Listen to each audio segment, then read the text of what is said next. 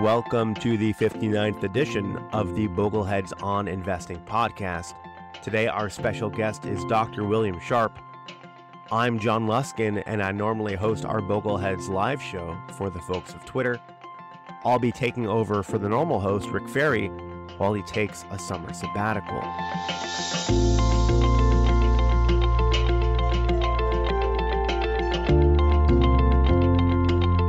Please allow me to introduce Dr. William Sharpe. He was one of the originators of the capital asset pricing model, developed the Sharpe ratio for investment performance analysis, and developed other methods for the evaluation of options, asset allocation optimization, and investment return analysis for evaluating the style and performance of investment funds. Dr. Sharpe has published articles in a number of professional journals and is a past president of the American Finance Association. In 1990, he received the Nobel Prize in Economic Sciences for his work on the capital asset pricing model. You can learn more about Dr. Sharpe at wsharpe.com.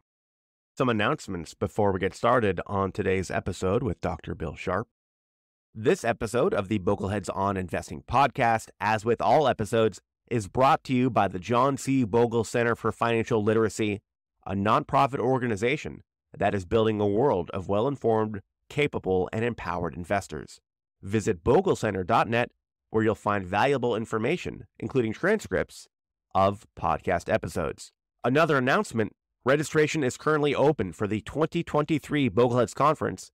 This year's conference is on October 13th through the 15th in Maryland. We have some phenomenal personal finance and investing rock stars who will be attending as speakers, including Charles Ellis, Paul Merriman, Clark Howard, Jonathan Clements, Michelle Singletary, Barry Ritholtz, Wade Pfau, and more. And of course, Boglehead's favorites, host of this show, Rick Ferri, Christine Benz, Dr. Bill Bernstein, Mike Piper, Allan Roth, and much more. Go to boglecenter.net slash 2023 conference to see the full lineup and to register. Also, you still have time to take advantage of the discounted room rate. Again, that's boglecenter.net slash 2023 conference. And finally, a disclaimer. The following is for informational and entertainment purposes only and should not be relied upon as investment advice. And with that, let's get started on our interview with Dr. William Sharpe. Bill, welcome to the 59th Bogleheads on Investing podcast. Thank you for joining us. My pleasure. In 1990, you jointly received the Nobel Memorial Prize in Economics with Harry Markowitz and Merton Miller for your work on the capital asset pricing model.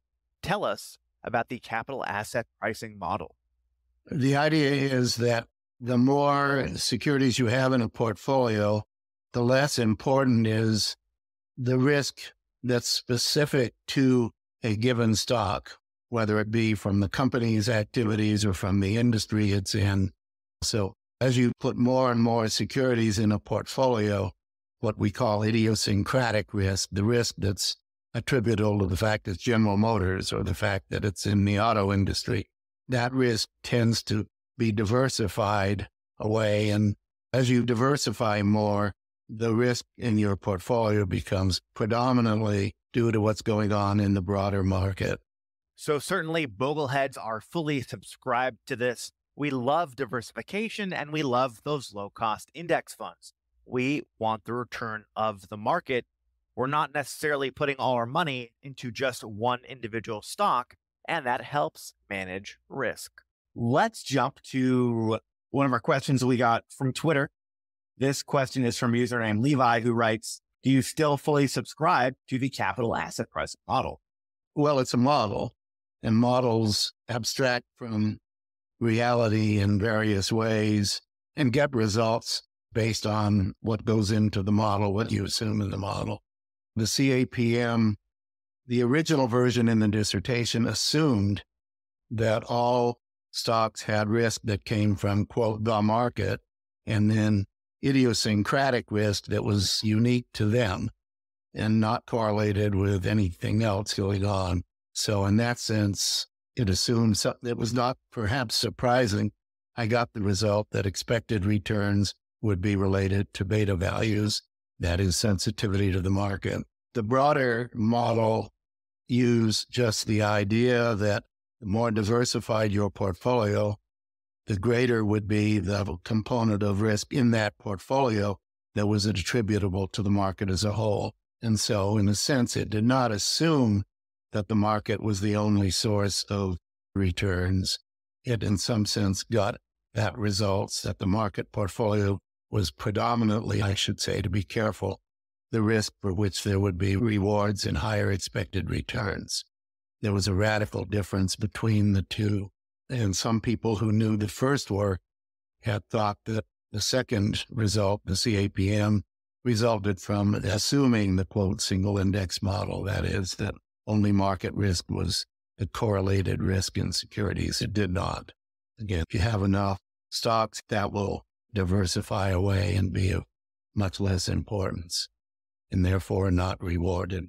The non market part would not be rewarded in higher expected returns. This question is from David from Twitter, who writes It would be great if Dr. Sharpe could comment on CAPM assumptions and the degree to which the model's value has changed as markets have evolved. It's hard to describe to somebody in today's world how irrelevant the stock market was for most human beings back in the 50s and 60s. Relatively few people had individual stocks. There were not 401k plans, and there certainly weren't as many securities as there are now, or as many different exchanges, etc. At the time, the idea was that the market as a whole could be sufficiently dominant in expected returns that it would be a high, high, high percentage of the influence on expected returns.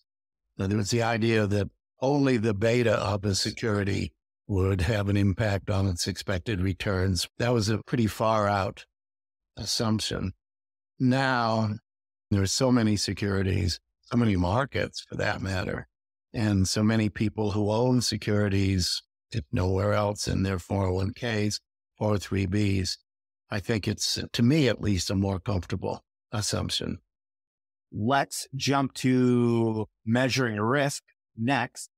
This question comes from username 95suited from the Hedge forums, who writes, should investors consider volatility to be the primary measure of risk when constructing financial portfolios? I would say yes, if they have a bunch of securities or a mutual fund that has a bunch of securities or multiple mutual funds. Obviously, if they have an investment portfolio of three stocks, there's a lot of non market risk in that portfolio. But if they do what Bogleheads might, by and large, I would assume do, yes. Yeah, certainly. I wonder if 9.5 suited is referring to some other risks that long term investors might face, such as inflation risk. That's to say, if you don't want to take volatility as a risk, the risk that your investments decrease in value, then you're not necessarily getting rid of all risk so much as you're trading that one risk, volatility, for another risk, which is inflation. If you're not going to invest in assets like stocks that have historically grown more than inflation, then you might be looking at your wealth decreasing over the long term. Well, I think there's a very strong argument that for most people, the returns that matter are real returns, inflation adjusted. Now, you know, we can talk about how important is inflation for old people versus young people, but in a sense, I would favor thinking of returns not as nominal returns, but as real returns. Pick your country and time period. Inflation may be dominant. It may, if you're lucky, for a short period in some countries be sort of minimal, as we well know and as we're experiencing. In most countries, in many times, inflation is important. So, in some sense, it's easy. You just do everything in real returns. When I'm doing projections, Monte Carlo, whatever, I tend to like to do it all in real returns. In the literature, there's an argument that for retired people, inflation may not be quite as formidable a factor, depending on if they've bought their house and they paid off their mortgage, etc. property taxes in some places uh, in California, for example, are there's a limit on how much they can be increased once you bought the house, etc. My inflation may be different than your inflation. There's some research by David Blanchett that talks about the spending smile of retirees, showing how retiree spending might not actually keep up with inflation. I will link to that in the show notes for our podcast listeners. David Blanchett, by the way, was our guest on episode 14 of the Bogleheads Live show. I'll also link to that in the show notes. Let's talk more about measuring risk. This question is from the White Coat Investor from the Bogleheads forums, who writes Risk adjusted return calculators, such as the Sharpe ratio, use volatility as a measurement of risk. Volatility is the change in price of your investment.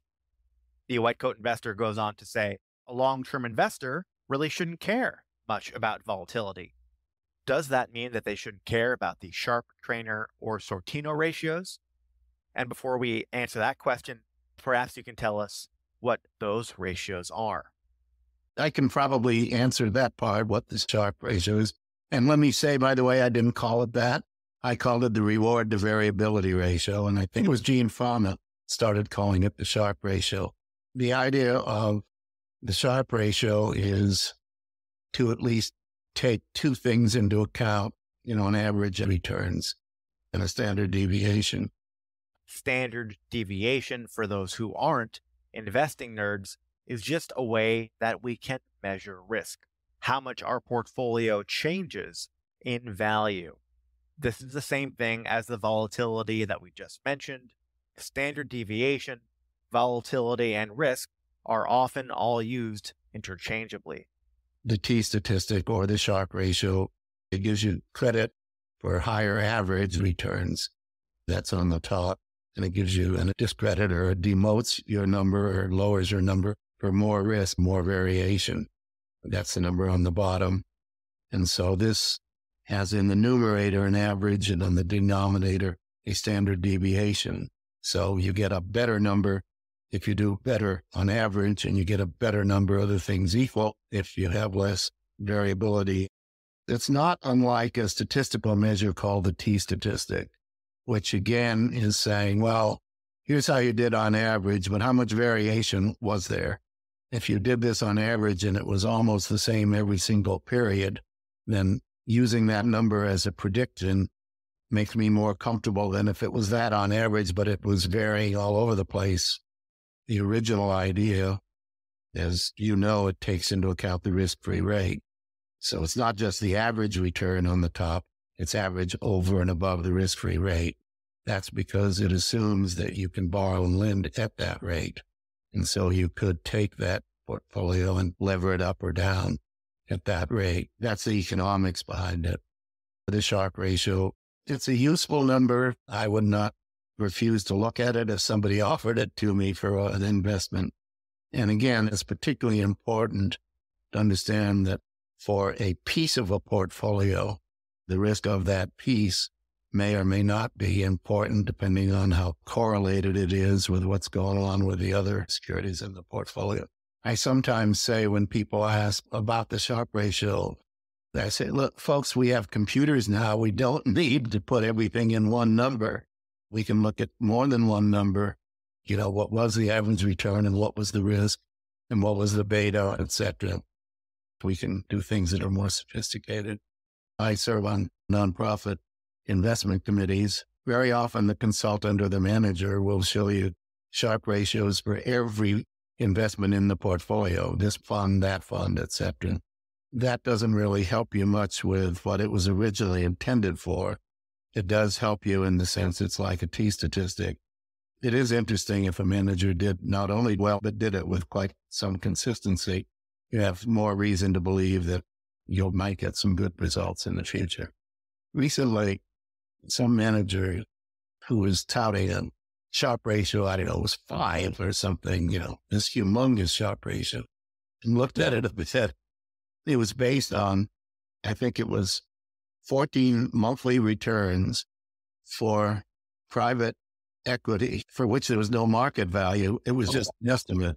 And they put down these 15 estimates. And sure enough, there wasn't much variation. And they'd done all right according to the estimates. So sometimes there are uses that I would not endorse. For those folks who aren't investment nerds, why that is hilarious for two reasons. Number one, a 14 month investment return is pretty much random. And then also, if it's a private investment, the manager can pretty much make up whatever price, whatever investment return. What do you want? What would you like it to be worth? All that's to say how they use the Sharpe ratio in that situation is quite silly. And then for me, the Sharpe ratio is very special because I looked at how endowments did next to index fund portfolios for my master's thesis. Hey, what happens with $600 million to invest? Well, the data already exists to show that those endowments would have been better off with low cost index funds. But what about risk? What is the risk adjusted return? So I use the Sharpe ratio and the Sortino ratio to show, even on a risk adjusted basis, considering how much risk you are taking, that the amount of return you're getting compared to that index fund portfolio is not that great. And of course, if you're comparing portfolios and you can borrow and lend at the riskless rate, then the portfolio with the highest Sharpe ratio is golden because with leverage up or down, that can beat anything below it. Let's jump to the second part of the White Coat Investor's question, who asks how can we adjust for the deep risks discussed by Dr. Bill Bernstein, such as inflation, deflation, confiscation, and devastation? Let me maybe twist the question a little to a broader question. To what extent is it useful to look at historic returns on a security, a portfolio, the market, whatever, as a predictor of future returns and risks? And that's a very serious question you have to ask yourself. I would say, I think it's incumbent upon you or your advisor to look at history to see how that particular portfolio would have done in the past. I don't think you should say past is not a predictor of the future, so don't look at all. On the other hand, if a portfolio did well in the past, how likely is it that it's going to do well in the future? And I would say generally not very likely. Risk is a somewhat different matter. Past risk is probably a better predictor of future risk. In an efficient market, past expected returns that are abnormally high are unlikely to be repeated, as are terrible returns. If it's done really well in the past, the market knows that. and the price reflects that to the extent that it's predictive of the future.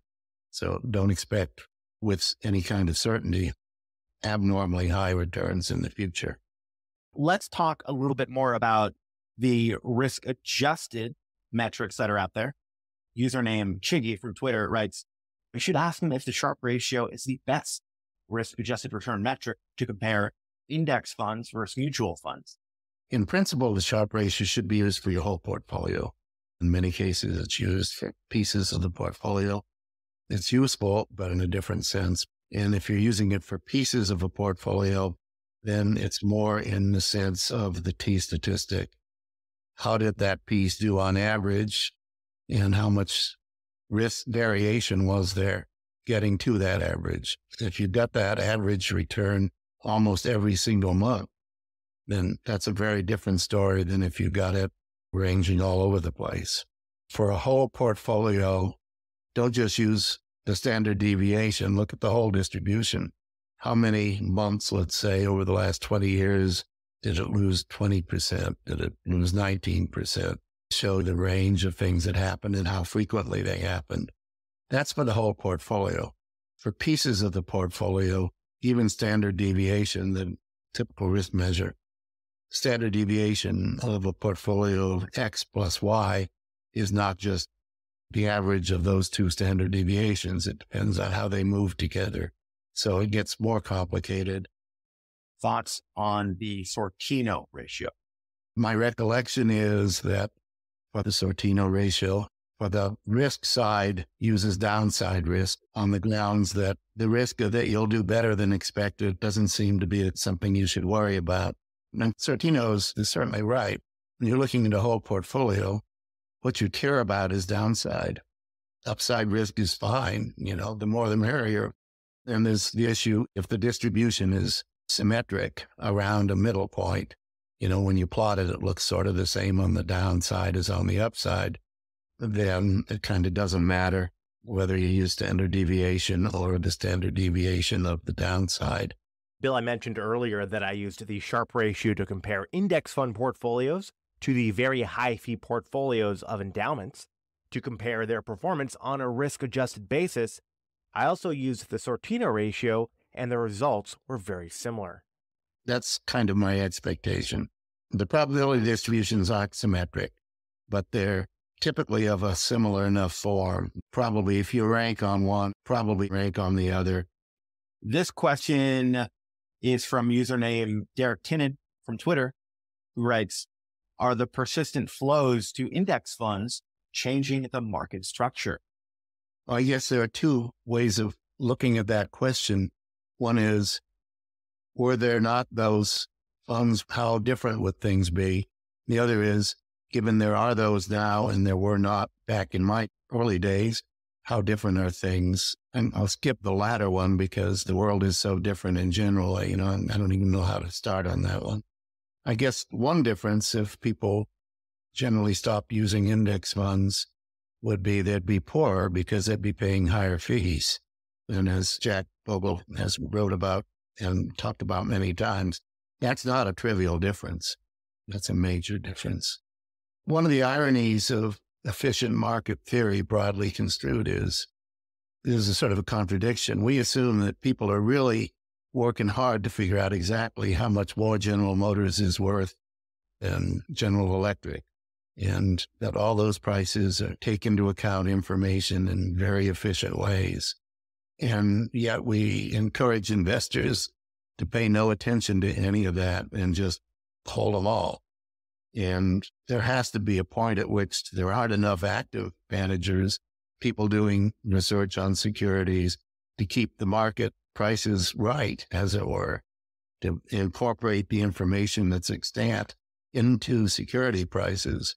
That's a really interesting thing to worry about. And over the many years since we all started in this field, question is how much indexing is too much? My hope, at least, is that if and when we get to that point, enough people will peel off and start doing security research and become active managers. Where that point is, I don't know, but it is a dilemma. So you don't want to convince too many people to index. Unfortunately, the people who don't index are paying the price for that research through higher fees. It's a very strange kind of equilibrium.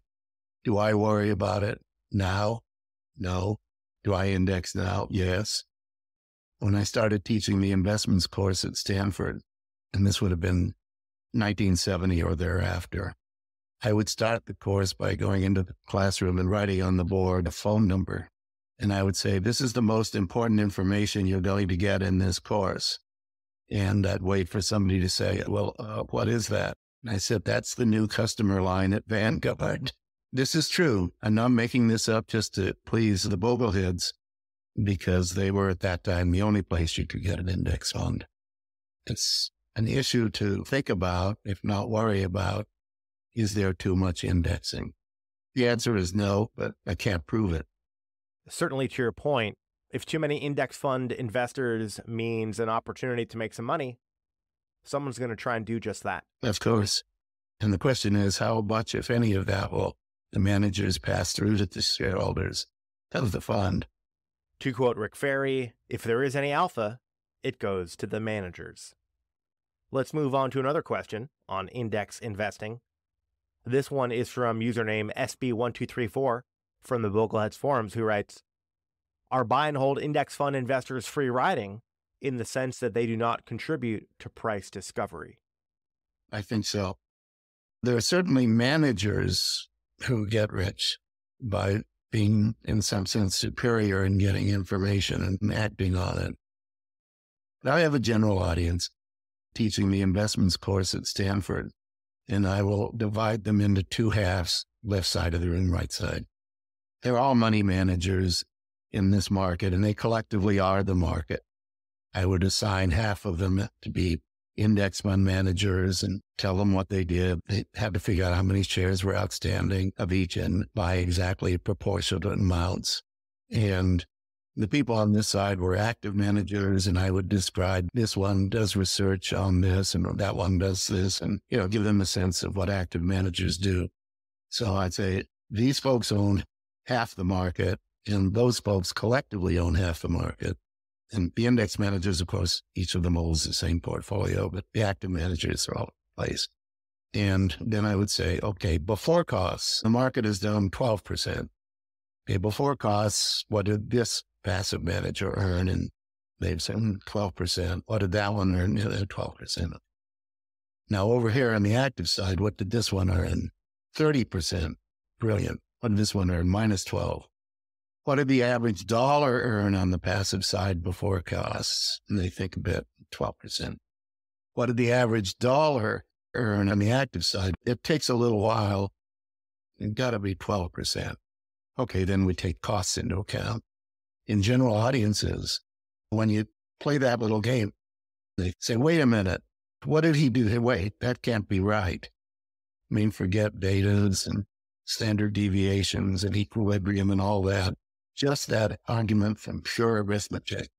And the money managers hate to hear that because they don't want to have to have that discussion with their clients. It's a paper I published, a two page paper, of The Arithmetic of Active Management. Sharpe's Math, I'll link to that in the show notes for our podcast listeners. They can check out that paper by Bill. There have been attempts by many managers writing articles to say, well, but there are new issues. We get them, the good ones first, and there's this and there's that. Those are minor perturbations, realistically. And that argument for indexing, I mean, it's so self evident. Virtually everybody in the Boglehead group knows it. Let's move on to some questions on model portfolios next. This one is from username Exodusing from the Bogleheads forums, who writes A general principle is that people who are much different from the average investor, as weighted by portfolio size or trading activity, those people should deviate from the market cap weighting to take into account their special differences. Does Bill agree? And then we had a similar question from username Tom76. Let me break that into two pieces. One is less risk, more risk. And in the theory, you can do that by borrowing or lending. And in the theory, you can borrow and lend at the same rate. But those are very strong assumptions. There's one market portfolio levered up or down. And of course, people don't just take one market portfolio and lever it up or down. They tend to shade a bias towards less risky funds for a bias towards more risky, etc. The real world is more complicated than the simple models that economists create. People cannot borrow at the same rate at which they can lend or risklessly invest. There are arguments there, and I would not argue that life is as simple as in our simple models. And again, you need to take your whole portfolio into account, your assets. If you have a whole owner occupied home, that's an asset. If you have a mortgage, that's a liability, etc. I sort of think of that as more a bond stock issue.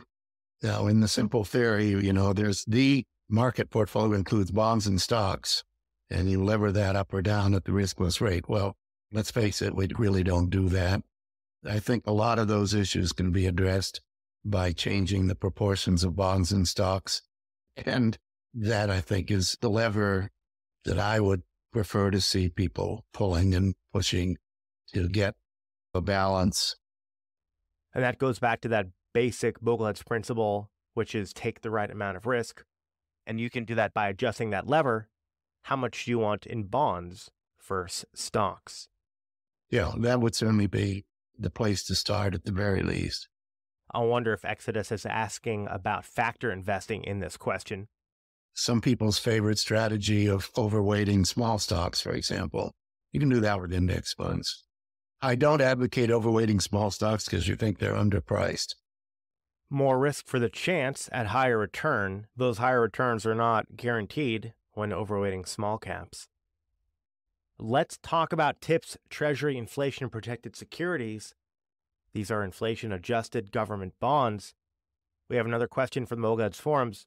This user writes Now that TIPS have positive real yields, should individual investors who have enough space in tax deferred accounts be using them exclusively instead of regular or nominal treasury bonds? It's certainly nicer now that they have positive if not so nice for those who help them if they need to sell them. But yeah, definitely in an important sense, tips or somebody in the U.S. are the riskless security or as riskless as you can get in terms of consumption. Let's return to a question that we touched on earlier on factor investing, such as those factors found by Fama and French. Do you believe in those factors? Well, believe is perhaps too strong a word. Are they useful? Yes, for some things they are. But do I believe that it is clearly true that people should overweight exposure to a small factor or a gross factor or whatever factor of your choice because there's something wrong with the markets? Uh, no. What are your thoughts on international diversification? Should investors be only investing in the US total stock market or should we be investing globally? I'll have to tell a story here. I was on a nonprofit investment committee, and one of the members was a semi retired private equity guy. And we had a consultant who's helping us, et cetera, the usual story. And at one point, we were discussing a foreign investment, and he gave a little speech, as far as I could tell, was not kidding said, well, if he had his druthers, we wouldn't have any foreign investments because they don't know how to run businesses over there. And I thought, well, surely, okay, haha, this is a, joke. it wasn't. He was serious. That's one view. It's not mine. My view is that international diversification should be a good thing in theory, as long as people can without too many problems in terms of repatriation and all the rest, and divergent tax systems. I believe in globally diversified portfolios. There is a sense of diversification.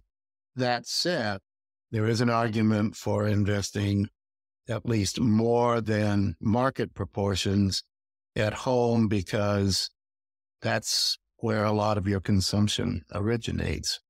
You know, if in fact the company that you have traditionally purchased goods at the grocery store does very well because they raise their prices a lot. You at least have a balance. Well, I'm paying more, but my stock went up. That's a trivial and sort of silly example. So I think there is an argument for home bias, but I don't think it's totally offset by the advantages of global diversification. So there's a happy point in the middle somewhere there for those who aren't investment nerds, know that the global cap weighting is roughly 60 40. That's to say, roughly 60 cents of every dollar invested around the world is invested in US companies, and the balance of that 40 cents is invested outside of the US. So that is the global cap weighting. If we have a home bias, we'll invest a little bit more than that roughly 60% compared to international. For example, Rick Ferri, the normal host of this podcast, frequently suggests two thirds, one third in favor of U.S. stock markets, giving us a little bit of a home bias. He talks about that in episode one of the Bogleheads Live podcast. I'll link to that in the show notes for our podcast listeners to check that out. Bill, what do you think is a reasonable mix for home bias? Whether or not you go to world market proportions, which is what I would favor as a default, ask yourself I don't buy only companies in California. I buy companies in the US and I don't buy only companies in the US. I think you need to really think a little bit about what are your other holdings. You obviously have a disproportionate holding in the US if you own your own home. So if you take your overall portfolio, including things like equity in your home, then that gives you a different view. Certainly, if you've got real estate, your primary residence, maybe even some investment properties, then that further tilts you towards that home bias, even if you've got that global cap weighted portfolio for your liquid investments. That is a phenomenal point. There was a time there was some investor would say, I only invest in things that are close to home. You think, no, wait a minute. That's from a diversification standpoint, you win a lot of stake in California or what have you from your property. Let's talk more about bonds. Bill, I'm curious about your thoughts on the following. The risk of equities shows up in corporate bonds. Therefore, if I'm trying to manage equity risk, I don't want to hold bonds that are subject to equity risk in my portfolio. That means opting exclusively for US government bonds for the bond portion of my portfolio, as advocated by David Swensen, the late chief investment officer over at Yale's endowment. I haven't thought of the issue that way. Why should it matter in what manner you invest in the company? It's out there, it's part of the market, broadly construed. There is obviously the risk issue. If you take the simplest of the theory, in theory, you should deal with combining the overall market with riskless securities to deal with your risk aversion. And you should get everything that's out there in the market if you can get it at reasonable expense. Now, kinds of issues you're raising are more subtle. Theory is not subtle enough to deal with it. My first impression would be whatever the company's issued, will buy our proportionate share of everything and then leverage to move the overall risk of the portfolio up or potentially down. Burrito Lover from the Bogleheads Forums asks Is chasing higher yields via a lower duration bond in the current environment a viable strategy? Well, I would just say generically anything that assumes that you can exploit somebody who's dumber than you would not be recommended if you believe in efficient markets. What are your thoughts on changing bond maturity over time? That's to say, right now, short term yields are really attractive. Therefore, I'm going to hold a short term bond portfolio. And then maybe when rates normalize, I'll update my bond portfolio going farther out on that yield curve. What do you think about market timing your bond portfolio with respect to interest rates? Yeah, in general, I don't think much positively about market timing because market timing means the other people in the market are stupid, or at least not as smart as you are. And there are a lot of smart people in the market. It's not at all clear that you know significantly more than is embedded in the market. Maybe you do think you know more about the future than the average investor. And you have to think of the average investor as dollar weighted, not the average investor you know, down the street with a small portfolio, the average investor is pretty informed and pretty smart. If you're going to underweight or overweight anything because you think the market has, quote, got it wrong, then you're betting against a bunch of folks, many of whom, in terms of dollars invested, know a lot about some of these things. I do not play that game, and I would not recommend it to the average investor. What are your thoughts on foreign bond holdings? This question is from username McHugh from the Bogleheads forums, who asks about just holding the U.S. bond market on the bond portion of their portfolio.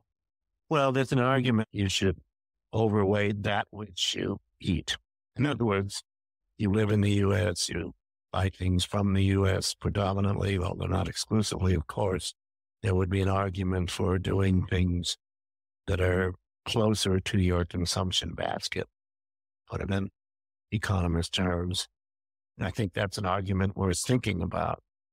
Of course, we consume a lot of things that in whole or in part come from elsewhere, but home bias, you know, maybe makes some sense, but you have to think about it that way, I would argue, as you make the decision. Let's talk a bit more about real estate. This question is from username Abbas368 from the Bogleheads forums, who writes, What are his thoughts on private real estate investing, such as Fundrise and Grant Cardone, as an alternative asset class to invest in alongside a diversified, low cost, total market index fund portfolio? I think you should certainly get market proportion, think about market proportions of real estate in the sense of things that are traded on security markets where you've got liquidity, etc. not in the underlying asset, but in the security. When you start talking about direct investment in real estate, that raises a number of other conditions. I mean, you're not going to try to get a piece of every shopping mall. I think it's a practical matter. There are traded securities on major markets. That's definitely something worth considering in proportions on those markets. Abbas 368 goes on to say these funds typically have high fees, such as 1%, and are illiquid. Does that illiquidity increase the probability of achieving alpha? Well, I would not argue that anything with certainty increases the probability of increasing alpha. I think there's a pretty good argument that the truly average investor should consider liquidity. You obviously don't do it when you buy your own house. You buy real estate that's illiquid because you can live in it. But to buy a, an illiquid asset as an investment period, I think you should give some thought before you do that. Let's talk about publicly traded REITs. Investable using Vanguard's low cost REIT index fund, VNQ. These were highly recommended 10 to 20 years ago by Burt Malkiel and David Swensen. I think you should consider investing in them in market proportions in the risky part of your portfolio. Again, if they're highly liquid and they're traded reputably and such, yes. When you invest in VTI, VTSAX, that low cost Vanguard total stock market index fund, you're already getting everything in VNQ, to your point. Let's pivot to annuities. This one is from username a fan from the forums who writes, Can you discuss the role of annuities versus bonds in a retirement plan? Annuities versus bonds. Well, there's a, a really big difference. When you die, your kids can tell there's a difference, or your universities and that when you die and holding annuities, there's nothing for anyone else. That's a major difference. And the whole issue of should you annuitize, should you partially annuitize is one that takes an awful lot of thought. There are very, very important things that transcend investment discussions on whether you should annuitize or not. One of the questions is whether or not you can even make it to a very old age, which you have some probability of reaching. And do you want to play the probabilities or just say, I'm not going to bet that I'm going to you know, die soon? It's a very complicated decision that involves many issues that transcend or at least overwhelm the economics involved. A single premium immediate annuity, that's the type of annuity you described just now. Yeah. Let's jump to some questions that you suggested about asking artificial intelligence, AI, how to invest it's pretty interesting. First of all, of course, as you well know, everybody now well knows the answers. It's astounding what kind of answers you can get. The answers do differ.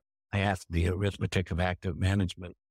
Can the average dollar invested in a market portfolio after costs outperform the average dollar invested in active strategies? And one of them said, no, period one has to think about what the role of AI will be in investment advice, whether it will replace some humans or if it will just give advice to people who otherwise didn't get it, and what the impact of that might be.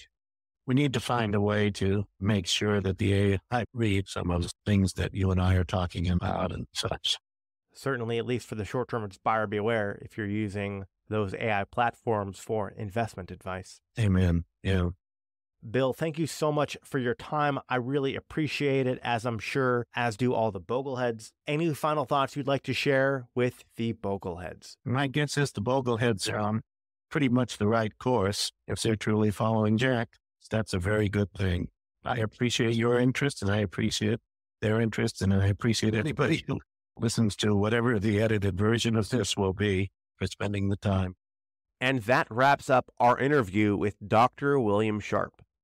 Don't forget, you've still got time to take advantage of the special room rate for the hotel for the 2023 Bogleheads Conference. Go to boglecenter.net slash 2023 conference for more information. I'll be back next month returning as guest host for the Bogleheads on Investing podcast. Until then, you can check out a wealth of information for do it yourself investors at the John C. Bogle Center for Financial Literacy at boglecenter.net. And check out bogleheads.org, the Bogleheads Twitter, Bogleheads Wiki, the Bogleheads YouTube channel, Bogleheads Facebook, Bogleheads Reddit, the John C. Bogle Center for Financial Literacy on LinkedIn, and local and virtual chapters. And to you listening right now, yes, you, I'm talking to you. If you could please take a moment to subscribe and to rate the podcast on Apple, Spotify, or wherever you get your podcast, and also be sure to leave a review. The more listeners who do that, the more other folks will find this resource for do it yourself investors. Thank you for checking out this episode of the Bogleheads on Investing podcast. If you want to submit questions for next month's guest, check out the Bogleheads forums. We have a thread going for questions for Jonathan Clements of the Humble Dollar, who will be our guest on the next show. I'll link to that thread in the show notes so you can drop your question for Jonathan Clements. Until that next show, have a great one.